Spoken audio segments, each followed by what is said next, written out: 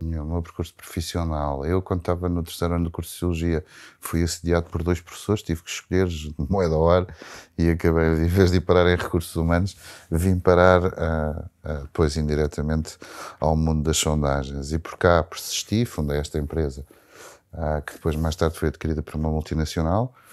Uh, in the meantime, pelo meio, pá, dei 20 anos de aulas, tudo e mais alguma coisa.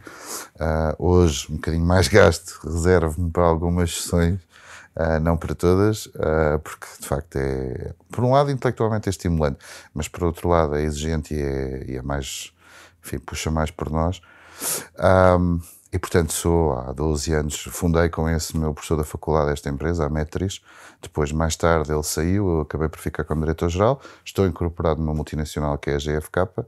A GFK tem várias unidades de negócio, um, nem todas tocam o mundo da televisão. A mais conhecida e aquela que faz mais sentido é a GFK, que produz os dados das audiências, não só em Portugal como noutros países. A empresa de que eu sou diretor-geral, integrada no grupo GFK, é aquilo que se chama uma, uma empresa tradicional de serviços ad hoc, isto é, muito customização da solução em função das necessidades de informação.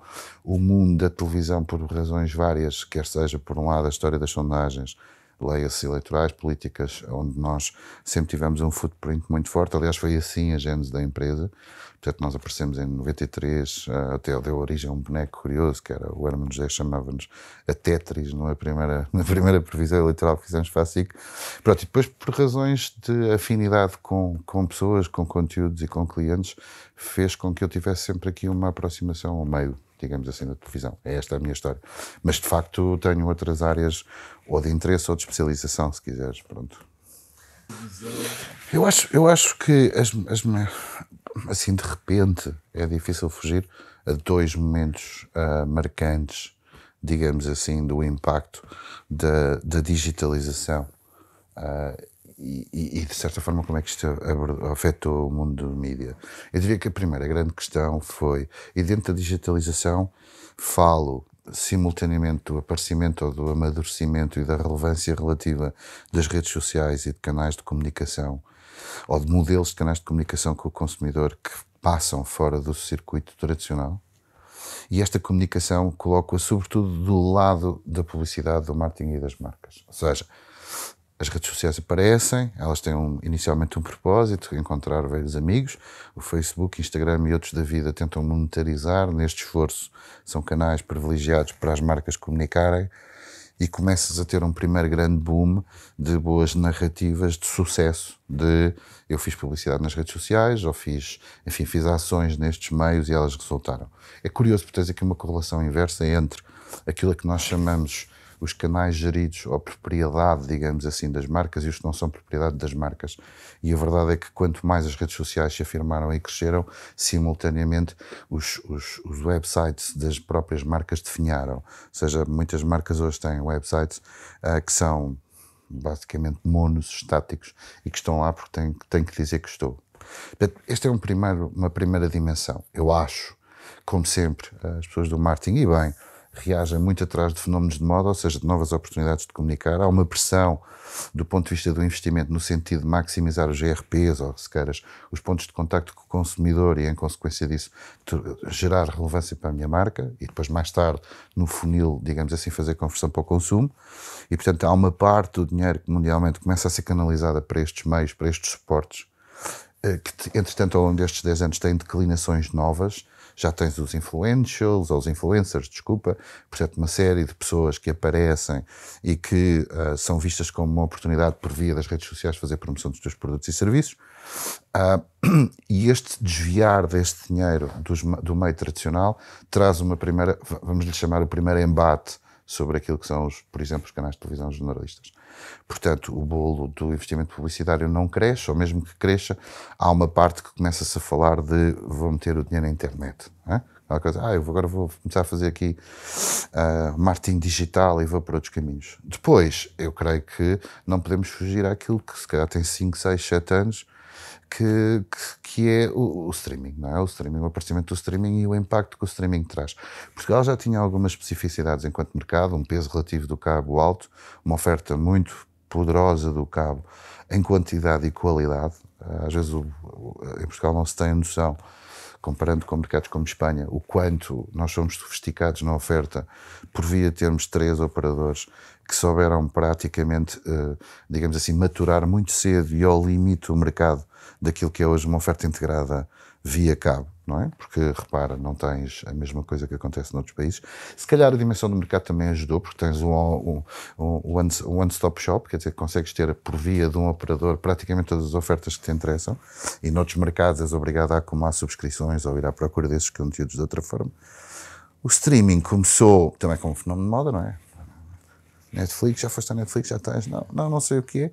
Pá, e é um tsunami no sentido em que ele, a marca, neste caso, mas também os efeitos dominó, porque o mercado mundial do streaming está em grande ebulição, confusões com a, a Disney a dizer eu também quero, e, e os HBO, e, e, ainda tens algumas limitações. A Disney, por exemplo, dois ou três conteúdos que estavam bloqueados para, para, para Portugal, acabou de os libertar agora, séries que estavam nos Estados Unidos.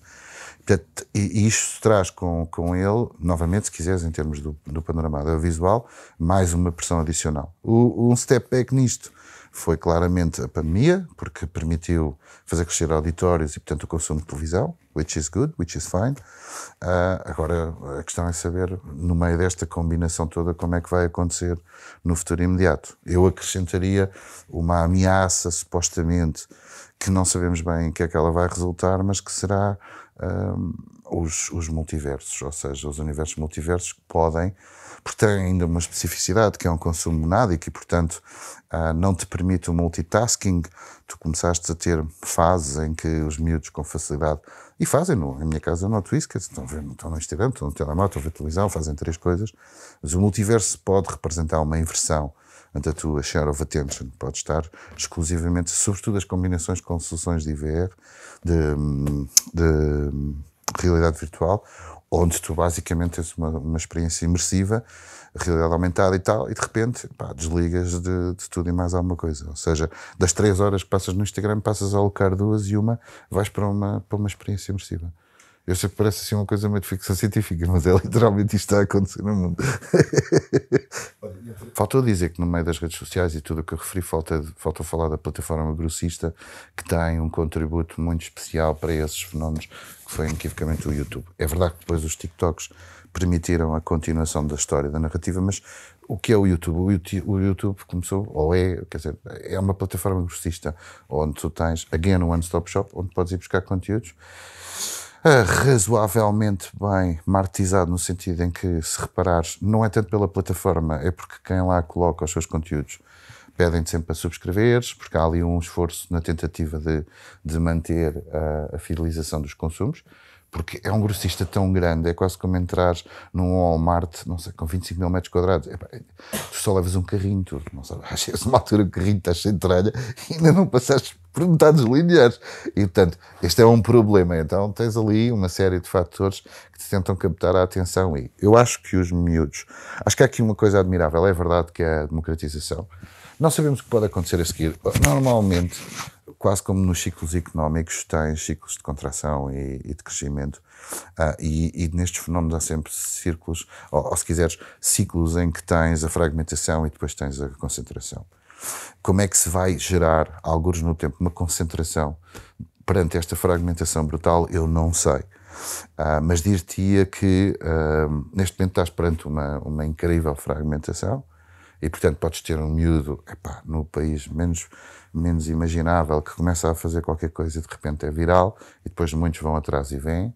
Eu acho que ainda falta, se quiseres, uma, uma, uma análise de natureza científica ou se quiseres uh, quase, uh, e, como dizer, quase que reescreveres as, as boas práticas para persistir neste modelo de relevância. Porque os próprios, alguns deles não sabem, porque de repente são fama, são fama e são conhecidos e depois deixam de ser. Às vezes replicam modelos tão gastos porque se copiam uns aos outros.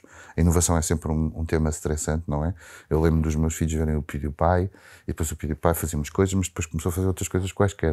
Já está ali um esforço de inovar e esta inovação depois faz com que os youtubers portugueses copiassem aquilo que eles faziam. Portanto, tu vais saltando de gaming para joking, vais pranking, and so on, and so on, mas para ali atrás de Agora, uh, isto também só foi possível porque houve um grande salto do ponto de vista tecnológico, onde o do it yourself hoje é uma coisa francamente mais, mais acessível, não é? E portanto aí as empresas que constroem uh, desde logo o telemóvel, não é? o próprio telemóvel hoje com uma qualidade de captação de imagem permite-te começares a fazer coisas que se calhar há 10 anos eram mais difíceis se tu imaginares. Portanto, o, o, a consequência disto é como disse, não, não, não te sei responder, sei que ela é super interessante nesta lógica. Já agora uma coisa engraçada, há, o, já não me recordo o nome, mas há um momento ali, alguns há 15 anos sensivelmente, onde um dos filmes que faz maior furor é um filme de uns miúdos que estão numa casa, filmado nos Estados Unidos, uma produção de 25 mil dólares e que tem receitas absolutamente alucinantes. Quase como se houvesse da parte das pessoas alguma nostalgia de uma produção não hollywoodesca, entendes? E eu acho que tu passaste um bocadinho por isto. E agora estás a ver uma coisa curiosa, pelo menos do que me é dado agora ainda só não, não é agora, muito no registro pessoal, que é, eu vejo cada vez mais as produções de pequenas coisas em Instagram e em YouTube e em TikTok, aquilo é quase hollywoodesco, quer dizer, eu vejo coisas que só me pergunto, estes, estes, tipos devem ter, cada, cada vez que uma miúda desfila com um tipo, salta para dentro de um carro num truque de magia, que deve ter um staff de apoio, que é assim uma coisa indescritível, entendes? Mas calhar não, mas é a minha primeira sensação, isto, isto é tão bom, isto é tão bem feito, tem uma qualidade de captação de imagem, de edição e de montagem que eu só me pergunto: oh meu Deus, uh, uh, já estamos aqui numa hiperprofissionalização da qualidade do produto que é oferecido, entendes? De conteúdo, isso é inequívoco, é tudo dizer, no, no, pináculo, no Olimpo dos, dos, dos se quiseres, romper com isto, és o Joe Rogan, não é? Que é uma coisa absolutamente Pá, eh, no fundo é um podcast, mas aquilo é um programa de televisão tem não sei quantos milhões de visionamento e milhões de subscritores e uma discussão imensa sobre a Spotify e os compras dos direitos. E, e chegas ao fim, eu acho que estás sempre num tema que é a relevância daquilo que tens para dizer ou daquilo que tens para contar. E portanto, o Joe Rogan é irrepetível porque passa muito por ele, por aquilo que ele conseguiu construir com uma imagem dele próprio portanto, um desalinhado, um pensador desalinhado, uh, que procura a informação em profundidade quando prepara uma entrevista e que vai à procura de qualquer coisa que seja uh, pá, fora dos cânones tradicionais, não é? Um, portanto, eu acho que essas boundaries, esses limites não existem.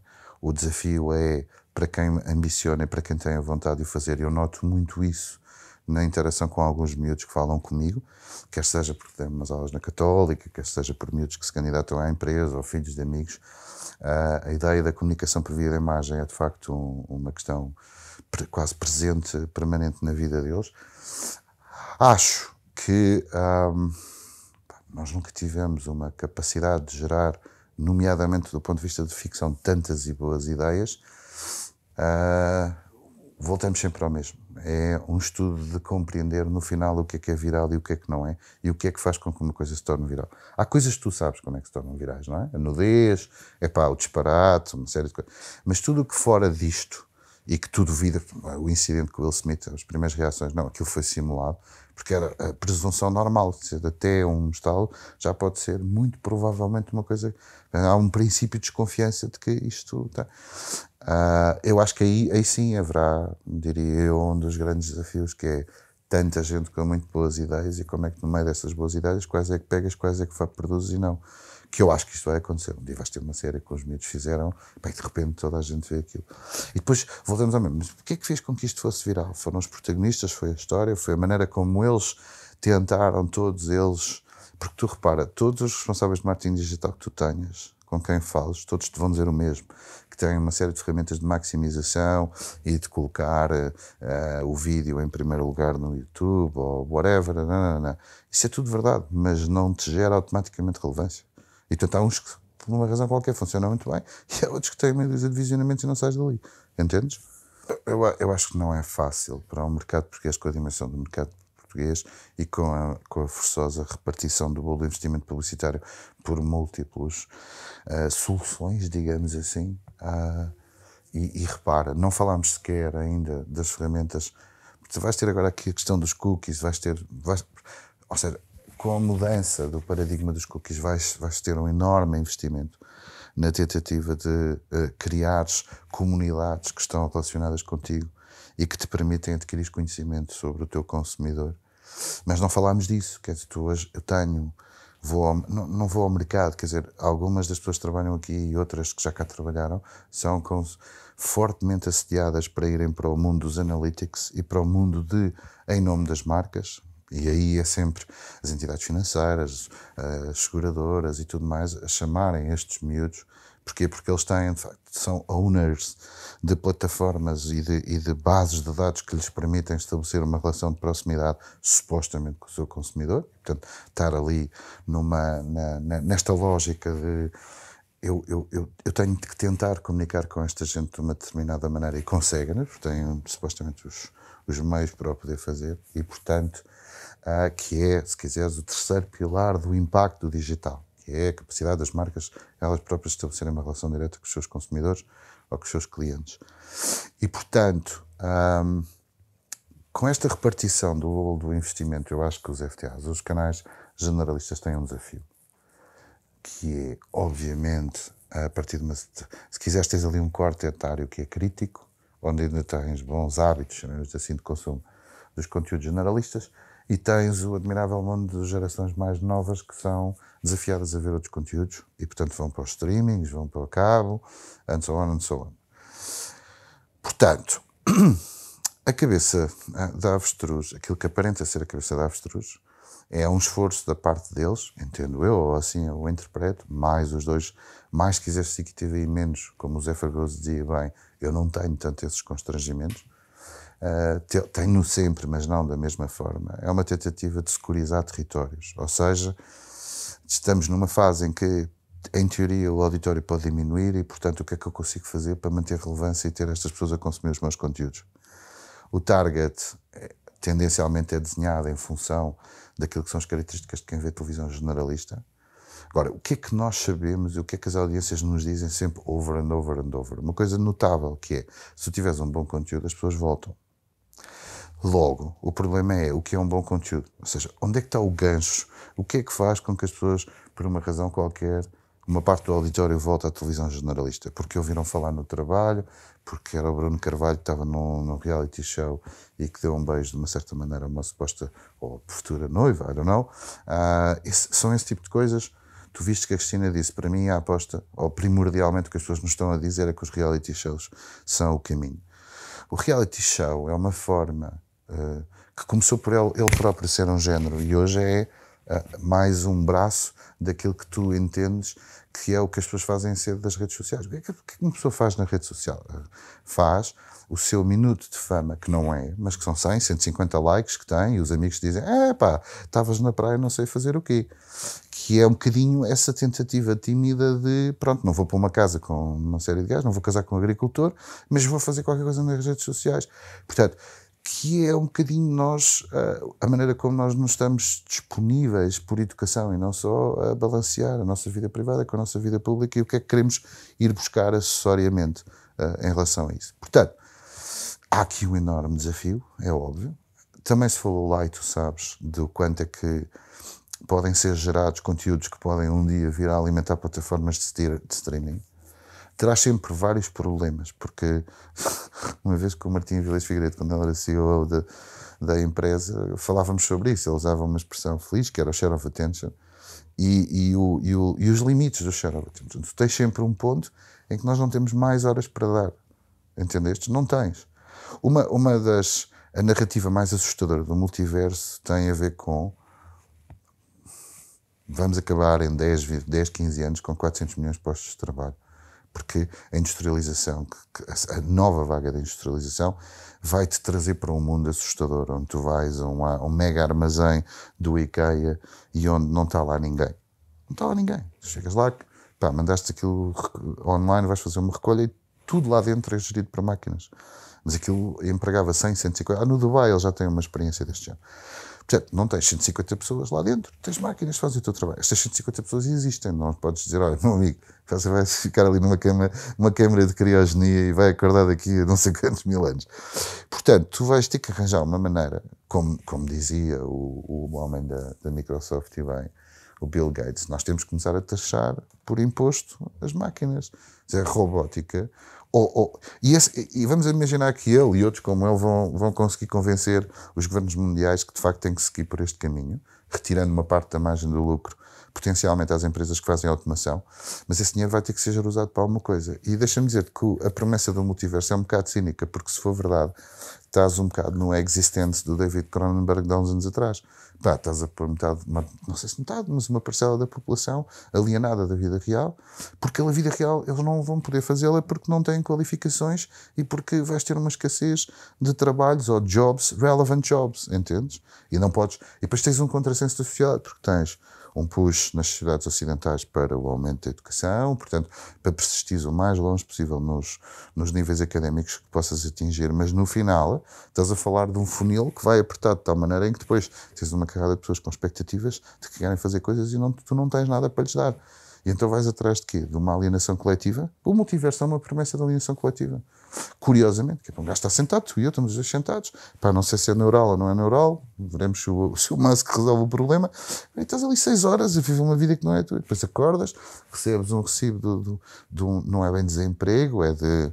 vão-me dar um nome pomposo, não sei, daquelas séries de ficção científica, de manutenção, reinserção social, e tu continuas ali a viver num mundo completamente à parte que é de facto bastante assustador pensar nesta lógica. Portanto, eu acho que os canais jornalistas, já vou longo na minha dissertação, vão se propor fazer para já este, este aspecto de securizar territórios, vão continuar incessantemente à procura de o que, é que, o que é que produz a diferenciação e recuperar. Tu sabes que há conteúdos descobertos, sabes quando há futebol as pessoas vão ver, sabes quando há reality shows, dependendo do casting, se for bom ou mau e do twist que lhe queres dar, as pessoas vão ver. Porque há uma coisa muito interessante, eu sou sociólogo e digo sempre esta coisa, que é, o ser humano é um ser eminentemente social. Nós temos que ter pontos de contacto. Ou seja, e esses pontos são, são pontos de, se quiseres, de, de, quase no limite de afirmação da nossa própria natureza humana. Nós não podemos estar, uh, eu não posso estar em casa com os meus filhos e não ter alguma coisa que seja o common ground. E uma parte do common ground passa por, pelo, que nos interessa, falamos de polo aquático, falamos da escola, e depois precisamos ter um ou dois conteúdos. Por exemplo, na minha casa, Star Wars é um ponto gregário, não é? Mais velho para Star Wars, mais novo Marvel. Portanto, eu tenho dois mundos de ficção onde eu, estamos ali para uma casa lá, é pá, vai o o Obi-Wan Kenobi, bora, bora lá. E depois para o meu mais novo, olha, vai estrear uma nova da Marvel, é pá, estou a ver se a gente se sente e ficamos por aqui. Portanto, isso significa que a fragmentação tem limites sob pena de tu, mesmo que seja hiper super tribalizado e que seja quase um nicho e que tu comeces, é pá, um novo género de manga onde só tu e três amigos é que estão a ver um tipo do Japão que está a fazer uma coisa sensacional. Mas se isto acontecer, a tua primeira necessidade, a tua primeira vontade é, e por cima na sociedade tens hoje, é dar a conhecer aos outros. Claro. Por isso, tu, se reparares, o, o cidadão comum, anónimo, que não tem nenhum interesse, quando ele vê qualquer coisa que, que mexe com ele, ele vai ao WhatsApp a dizer: Vi uma série brutal de 2015 da Netflix em coreano que nunca ninguém viu, mas é giríssimo, porque ele quer que os outros vejam. Porque tu que precisas de, comentar, de falar, de dizer às outras pessoas, entendes? Esses, esses elementos gregários da nossa própria sociedade. Portanto, a televisão jornalista tem sempre esse espaço. O que é que eu acho também? Voltando a, a, ao pilar das marcas. As marcas nem sempre nem toda a marca foi feita para comunicar nas redes sociais e no YouTube. Então, um aparelho auditivo. O que é que um aparelho. Pá, eu, o meu Facebook está-me sempre a propor aparelhos auditivos. Isto só dá razão a uma coisa, que é ou eu ouço mal, ou eu estou cheio dos limites que o iPhone me dá. Portanto, frequentemente, é, é isso e ressonar. Uma, uma coisita qualquer para pôr no nariz, para não ressonar. E o som, ou seja, aparelhos auditivos, eles já devem ter tirado um profile deste tipo. É, está ali a bater. Agora, não faz sentido. Eu nunca vou comprar um aparelho auditivo porque uma marca me apareceu de não sei quantos som no, no, nas redes sociais. Portanto, os canais, há, há, há, marcas e conteúdos de publicidade que obviamente é nos jornalistas que têm que sair. O, o canal jornalista ainda é hoje, por definição, o mass market. Eu disse isso lá na APIT. Quer dizer, eu posso aparecer em montes de sítios, mas eu vou à televisão jornalista e durante dois dias no café, ah, como é que está? Entendes? Vai demorar quantos anos a perderem essa posição relativa? Eu não sei se vão forçosamente perdê-la. Agora, isso altera o paradigma da maneira como eles podem e devem tentar capturar as gerações mais jovens? Sim. E it's not easy. Não, não é. É um, é um exercício muito complexo. A Mini teve para ser fechada. a Mini como produto pela Sagres, teve para ser acabada.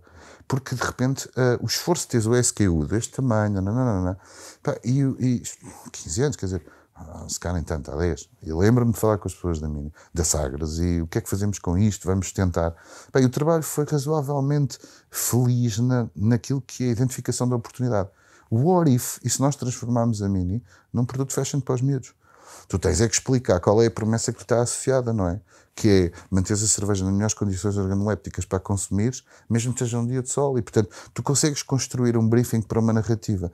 A televisão jornalista também precisa, na, na, no esforço de capturar os novos públicos, de fazer isto, de fazer esta coisa notável. Perguntar-me, acho, está bem, dá-me exemplos de coisas. Para além de uma novela da SIC, tinha uma particularidade, um, que era da SP, onde tu tinhas no próprio genérico imagens de cidadãos anónimos que durante aqueles três minutos do próprio genérico, em sequência, diziam olá para uma câmara da novela. Entendes? Se tiveres que começar por este tipo de exercícios, entendes? Pá, não perdes nada por isso. Eu uma vez, eu uma vez achei, existe, eu, eu às vezes gosto de pensar em televisão, eu acho que devia ser feito um corner speech em Portugal. E devia ser, sabes com o quê? Com um sinal em aberto o tempo todo. Pá, uma coisa qualquer, não sei, em Praia de Carcavelos, tinhas uma câmara, ou três televisões, ou uma, que depois desse o sinal a apontar, e era o único sítio em Portugal onde a pessoa chegava e podia fazer fila para dizer qualquer coisa sobre. Eu no outro dia falava com. Perguntei. Uh, ah, olha, antes de ir para a PIT, lembrei-me de uma questão e perguntei a alguém de televisão se existe um agregador de, de, de subscrições. Porquê que não há um agregador de subscrições? Mas o que é isso, um agregador de subscrições? É pá, não sei. Uma coisa a quem eu pago e que ela gera automaticamente as minhas múltiplas subscrições.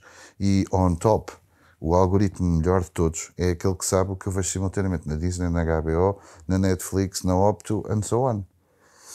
Uh, ah, não, mas há umas limitações. Mas quais limitações tecnológicas? Não há. É uma questão de dinheiro. E, portanto, um dia há de haver uns tipos malucos. Acho que nos Estados Unidos foi agora uma das empresas que fez um levantamento de 350 milhões para supostamente um primeiro approach ou uma coisa destas. O que é que isto te diz? Ou o que é que isto nos diz? Diz que a concentração de grossistas é uma inevitabilidade. E isso significa que uma economia periférica e um mercado periférico com dimensões muito específicas, que é o caso de Portugal, terá sempre muita dificuldade em competir nestes territórios, entendes? E, portanto, sim, tens razão, assim que os jornalistas vão ter que lutar por estes 15%. Agora também te digo, o próprio paradigma dos marketeers tem que ser mudado.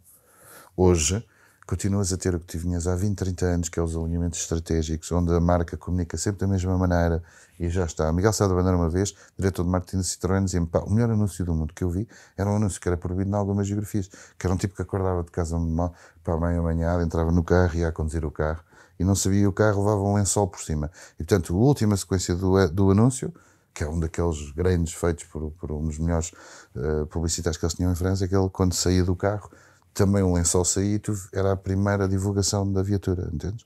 Pronto, problema. havia, havia países onde tu podias, aquilo podia ser interpretado como promoção à condução em risco e, portanto, perigosa. E, portanto, não podias introduzi-lo lá e só podias introduzir noutros, noutros mercados, digamos assim. Há um, um exemplo das limitações que esta coisa toda traz. Mas isto é Citroën, era a Citroën, comunicas em todo lado, anywhere, the same way e já está mas a, a, economia portuguesa tem marcas com relevância e que são sobretudo marcas que atuam no, no mercado nacional. E eu acho que elas próprias, e essas sim, uh, devem pensar, ou seja, a sai do tema dos alinhamentos e comunicar todos da mesma maneira, é o que é que sobra para nós, o que é que sobra das marcas portuguesas para elas aprenderem a usar os instrumentos de comunicação e de publicidade que são nossos e fazeres um bypass em relação a esse modelo, entendes? O, o, não vou dizer o continente, mas sei lá, a Vorten, a Vorten não, não, não pode estar a sonhar que vai competir com um big player nesses, nessas plataformas. Não, está bem, por muito que haja microzonas e micro disto e daquilo, esquece, são mundos diferentes, não é? É muito diferente. Se tu vais ao YouTube e todos os pranks que tu vês são feitos no Walmart, se o Walmart existisse em Portugal, já eras. Então tu tens que ir à procura de outras formas de comunicar a relevância da tua marca. E se calhar é num canal jornalista português. E se calhar é por isso que eles o estão a fazer lá, entendestes? Pronto, é o que é. Agora, haverá coisas que vão mudar, podem ser muito preocupantes. Sim, há, tens os, os desafios da banca, as pessoas continuam a ser tradicionalistas, é na Caixa Geral, é no Novo Banco, é no, no Santander, aqueles nomes e marcas que nós conhecemos melhor. Ok, mas eh, no meu telemóvel está o Revolut. Eu vou à Itália e provavelmente vou pagar as refeições com o Revolut. Portanto, as coisas são como são. Be aware. Então, entendes? Verdade, eu acho. Eu, eu, Deixa-me dizer, eu na parte da, da, da, da informação assusta-me o deepfake. O deepfake é uma coisa absolutamente inacreditável porque tu tens duas ou três experiências de. Pá, eu, eu vejo deepfake e pergunto-me sempre: no, o Trump um dia vai dizer isso foi deepfake. Percebes?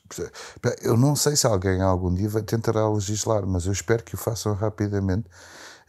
É claro que os russos depois vão, vão se borrifar para isso, mas quer dizer, uma coisa absolutamente inacreditável, porque as aplica, a, a aplicabilidade do deepfake a indústrias que sabem explorar isto como ninguém é assim, quer dizer, tu pensa no mundo da pornografia, onde tu consegues, em deepfake, pôr todas as estrelas mais conhecidas do mundo como protagonistas de filmes pornográficos. Para quem não percebe o deepfake, é exatamente a mesma pessoa, porque aquilo é uma transformação digital da, da do fácias da pessoa. Portanto, a partir daí podes pôr o, o Trump epá, em pornografia com a mulher ou com quem tu quiseres. Ou, e depois tens um tema de voz, mas como sabes, hoje a voz muda-se toda e faz o que quiser. Eu adorava que houvesse uma legislação limitadora, porque as coisas poucas que vi no YouTube, levei as mãos à cabeça e disse: Isto é o fim do mundo. É o fim do mundo. Porque ainda por cima a máquina aprende, tira todos os tiques que a própria pessoa tem.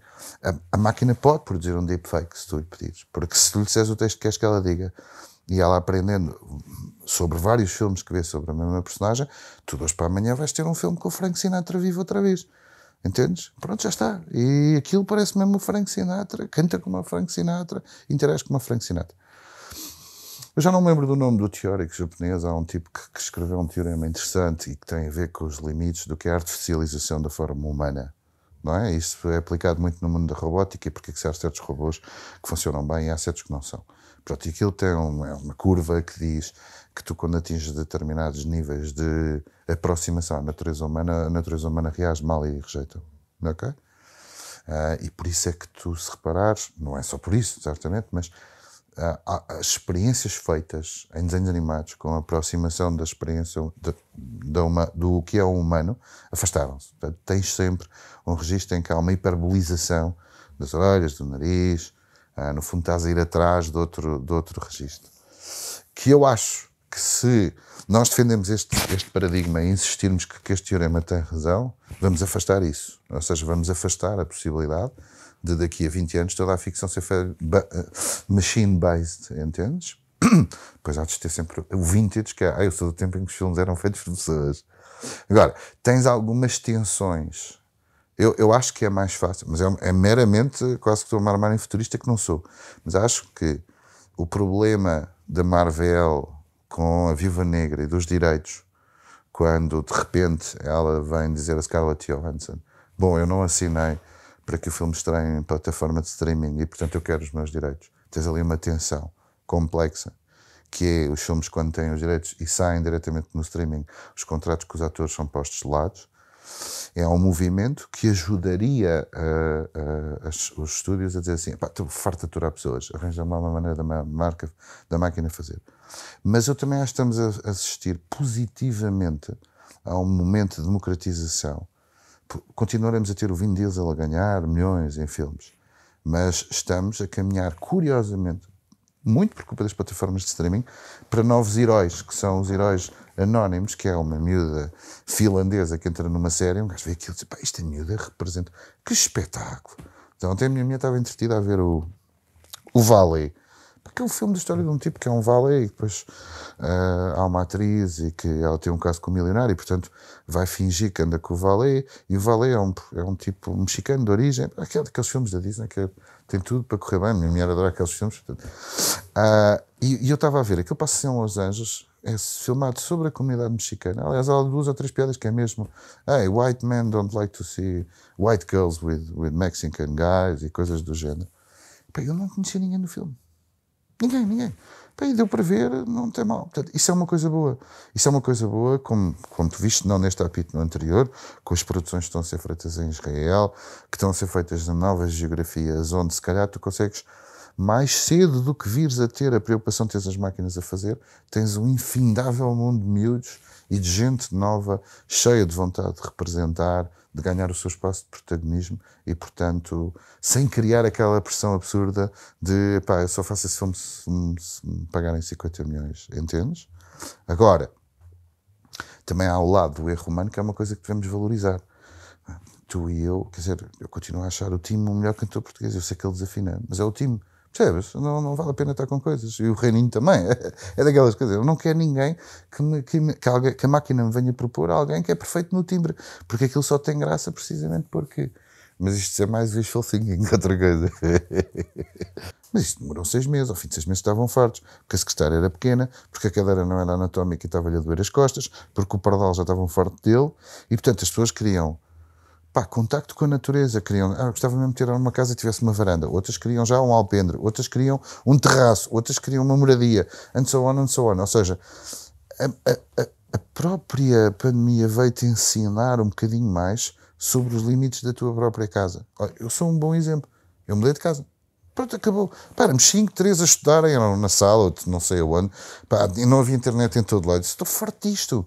Pá, estou farto isto não é, não é funcional, quer dizer, toda, já era a novidade, estamos todos juntos em casa, que era uma coisa que a gente nunca estava. Uau, mas tu fazes isso às 11 da manhã? Sim, eu costumo comer.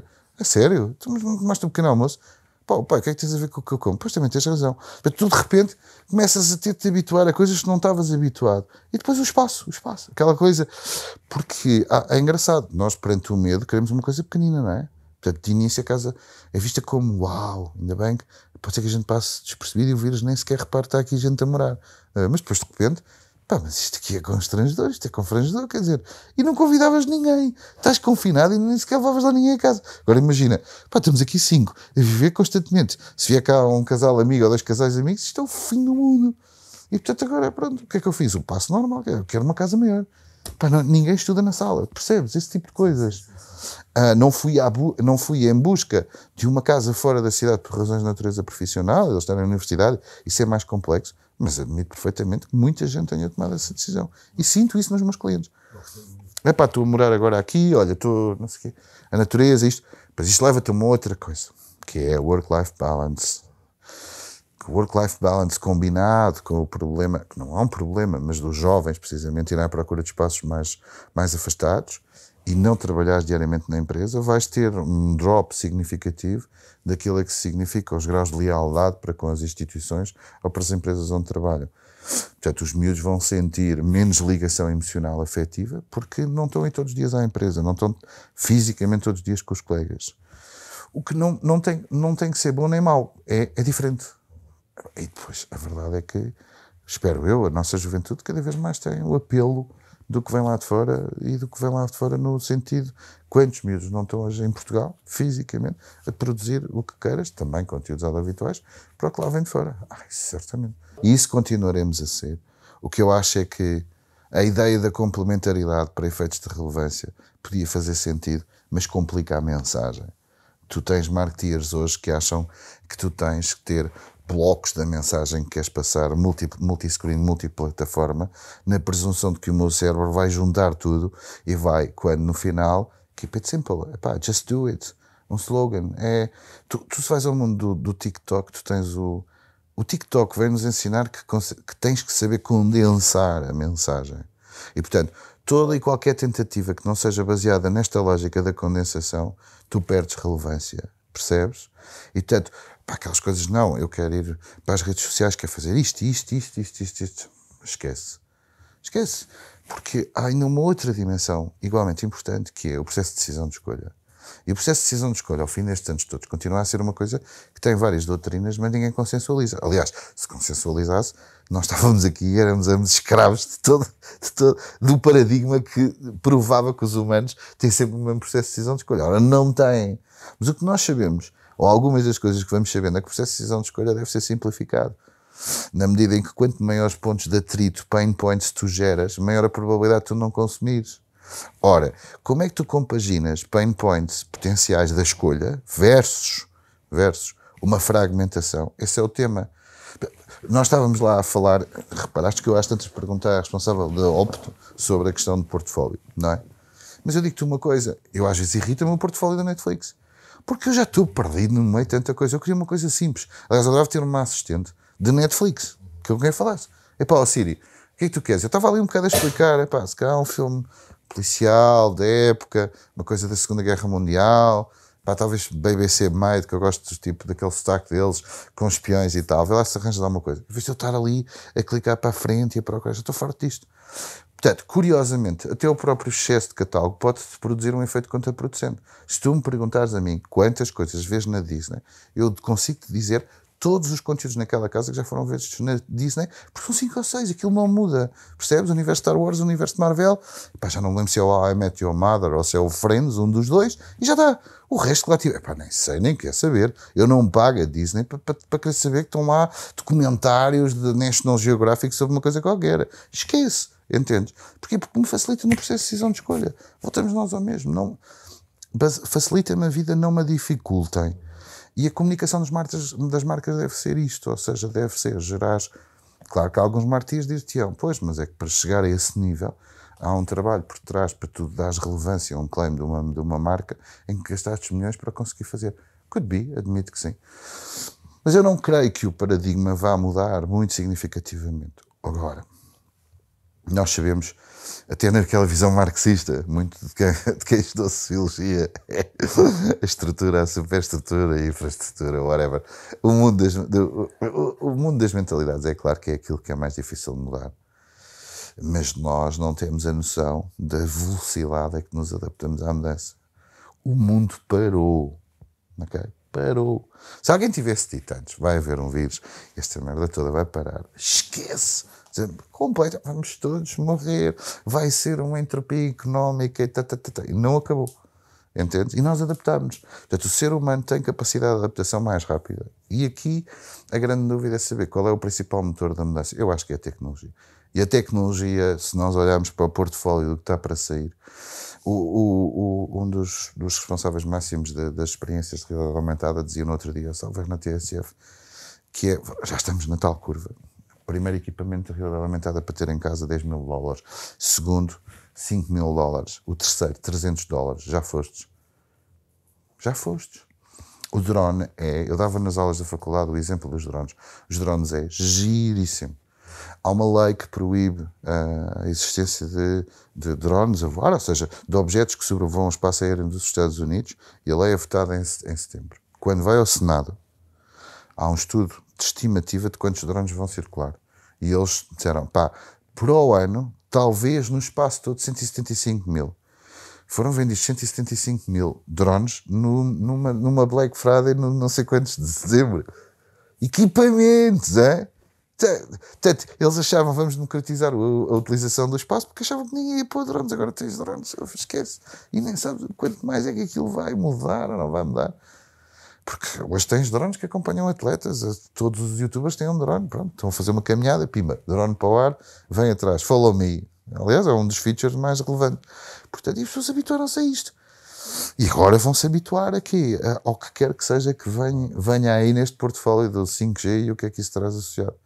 Portanto, vai ser, vai ser giro. Mas eu acho que no essencial, lá voltamos ao mesmo. Temos que ir às compras ao continente, tu agora sais daqui, passas ali no corte inglês e vais ver, e, e vais ver um lineal, vais ver roupa. E aquilo está desenhado para te facilitar o processo de decisão de compra. That's the big question.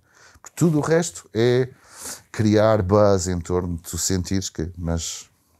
E tiveste, por exemplo, no consumo online, um crescimento brutal, pessoas todas a mandarem vir, e já voltaste, já tens sinais do regresso ao brick and mortar. Necessidade de ir à loja, de contacto com a loja. Mas pelo meio, nos Estados Unidos, o tamanho médio da caixa do correio já mudou, não é? Já não tens um sítio para caber uma carta, agora tens um sítio para caber caixotes ou coisas grandes. Até porque tens gajos divertidos a porem filmes no YouTube que os gajos a abanar aquela bocaria e partir tudo. a natureza humana é, é genial. Arranjar sempre uma maneira de. Ah, temos que melhorar porque senão isto vai correr mal ali. Portanto, agora já vende-se postos de correio grande, caixas de correio para o homem do correio por lá por encomenda e também dos packages.